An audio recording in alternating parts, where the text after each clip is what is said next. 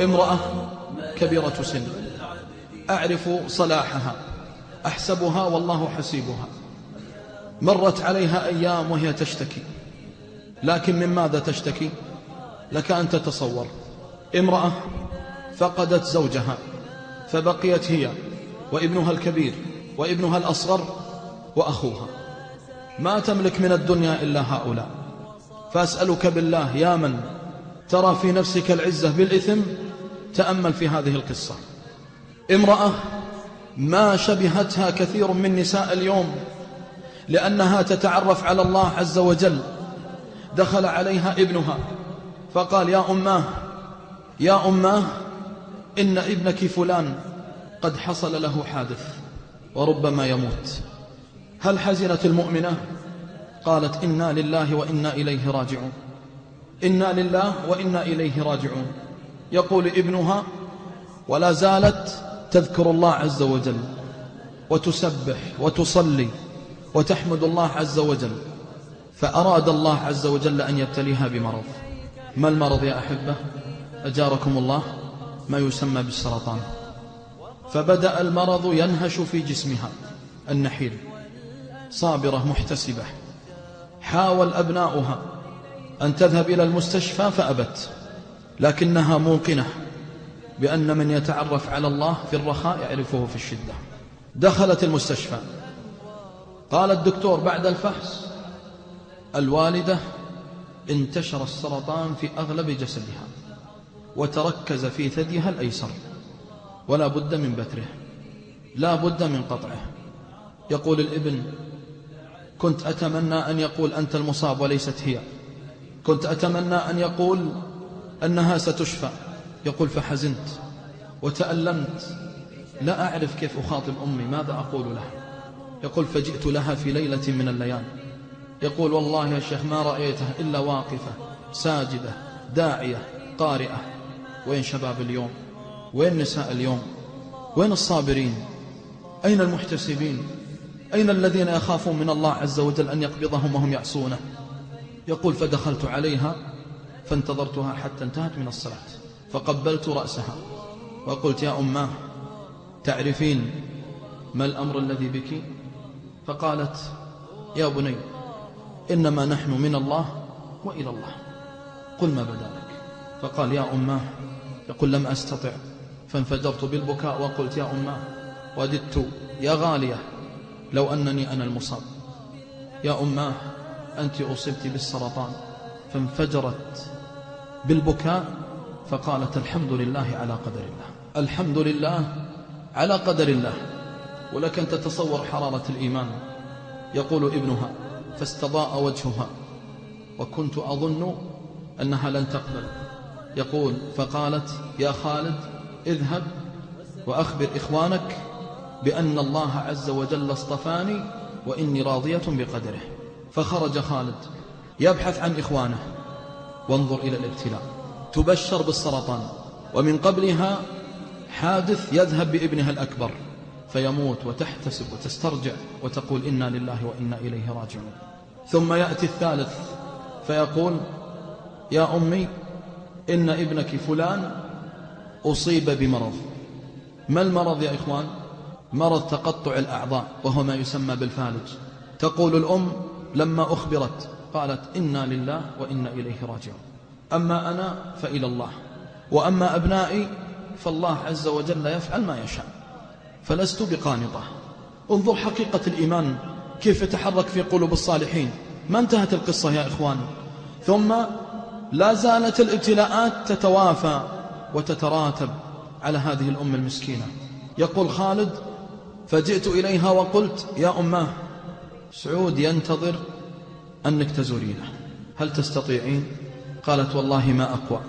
أن أراه يموت أمامي ولكني وكلت به الله عز وجل. وكلت به الحي الذي لا يموت. الرب الكريم وهو أرحم به مني. يقول فجلست على رأسها يا أماه سعود يطلب أن يراك. يريد أن يراك. فذهبت إلى مستشفى أرامكو ودخلت عليه. يقول خالد دخلنا على سعود ووجدنا وجهه مستضيئا بالنور.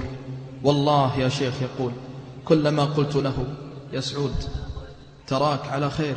قال والله أنا ما هو الموت أخاف عليه أو أخاف منه أنا خاف على أمي أريد أن أموت قبل أن أرى أمي تعذب بمرض السرطان. يقول خالد فأتت أمي وقبلته وقالت يا سعود ثق بالله واعلم أن الله عز وجل ما ابتلاك إلا لأنه يحبك وما أصابك بهذا المرض إلا ليختبرك. فقل إنا لله وإنا إليه راجعون. يقول فتحدرت دموع سعود. وقال والله إني أرى دموع الحزن تخالط قلب سعود. لماذا؟ لأنه ربما لا يراها مرة أخرى. خرجت الأم المسكينة. والله يا إخوان ما حدثتكم كذبا.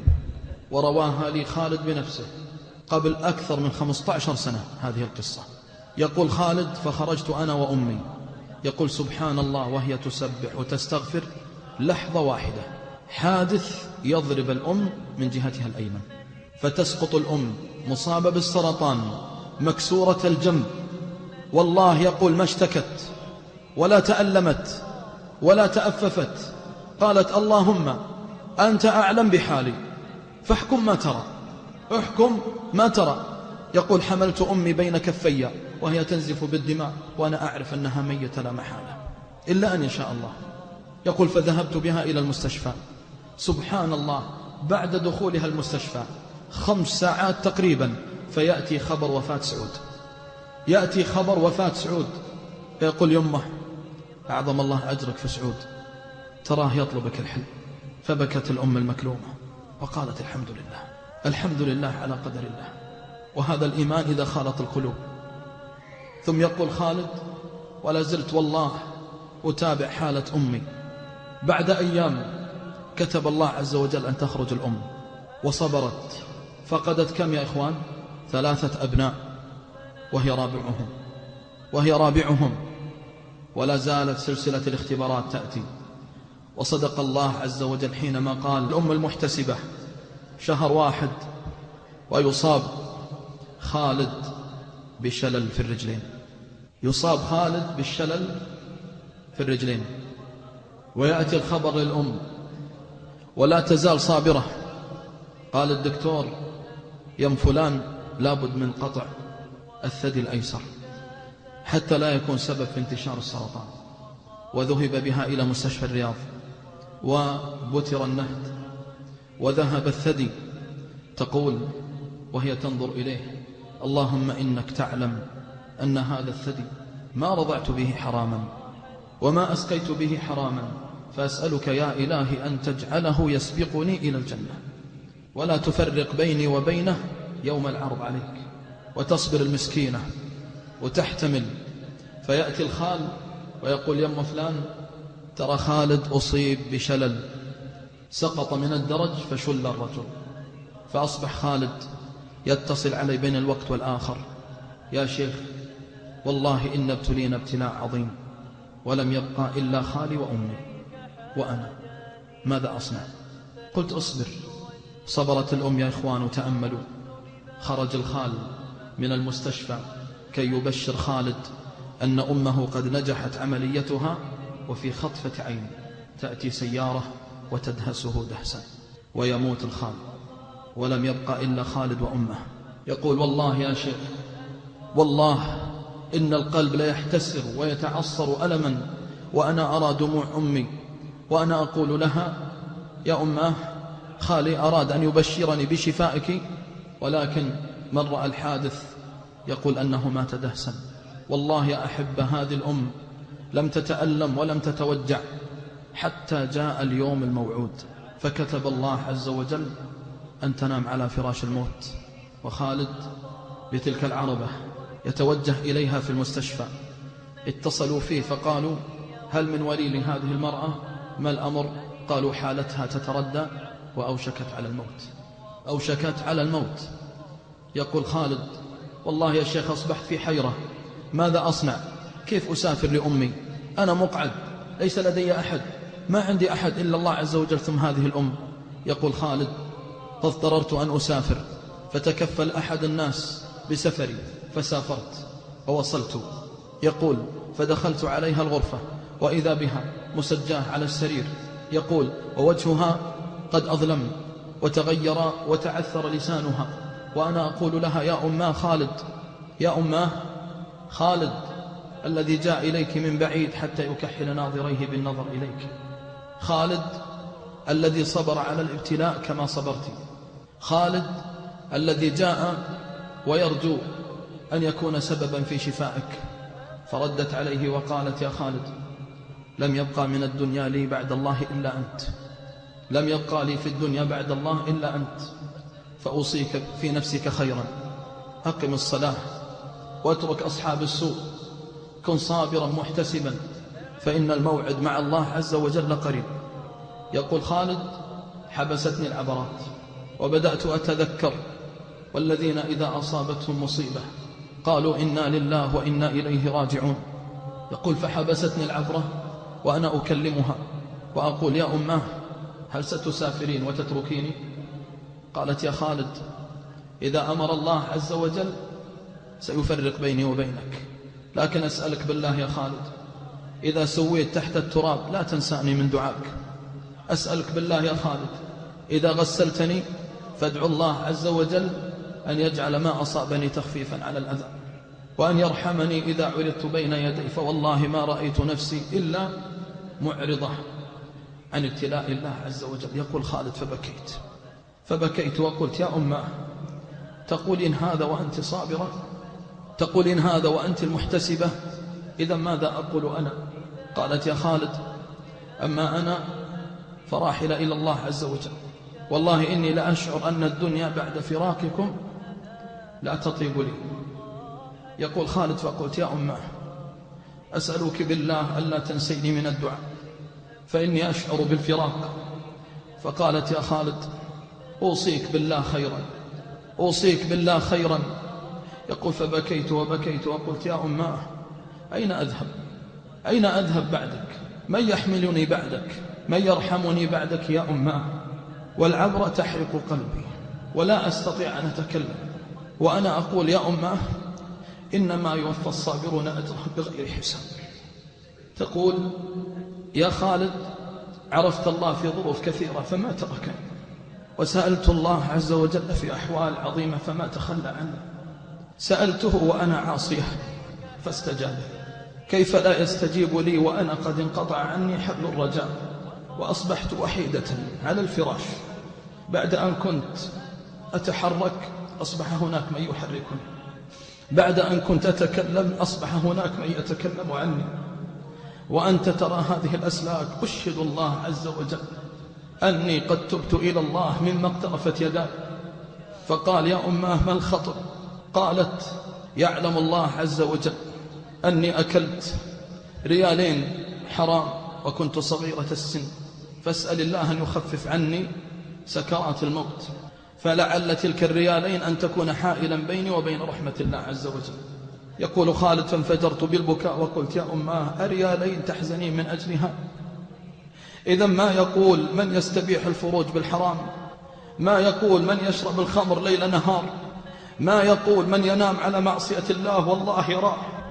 والله يسمعه. والله عز وجل يستره. وما يكشف ستره عليه. والله عز وجل لو دعاه ذلك العاصي وقال يا ربي إني تائب لغفر له. ولو اختصه الله عز وجل ببلاء فصبر. لقال الله عبدي صبر فأدخلوه الجنة حتى تقول الملائكة يا ربي خلا بالحرام فعصاك وأكل الحرام ثم تغفر له. يقول الله عز وجل لو بلغت ذنوبه عنان السماء غفرت له ولا أبالي.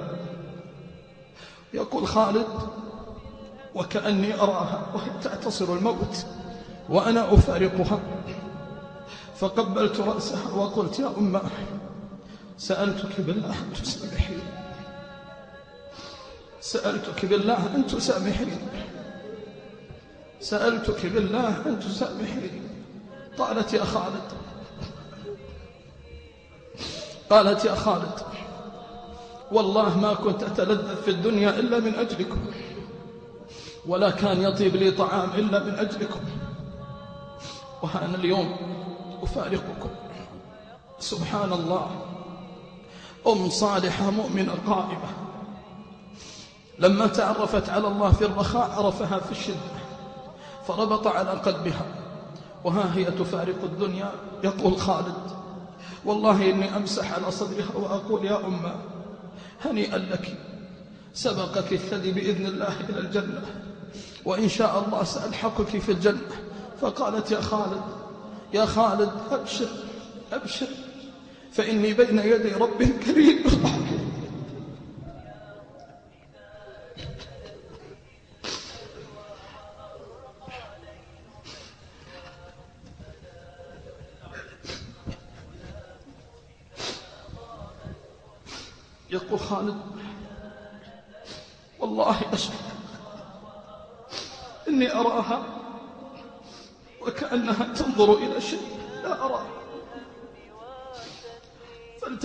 يمنه ويسرى وقالت خالد استودعك الله الذي لا تضله دائما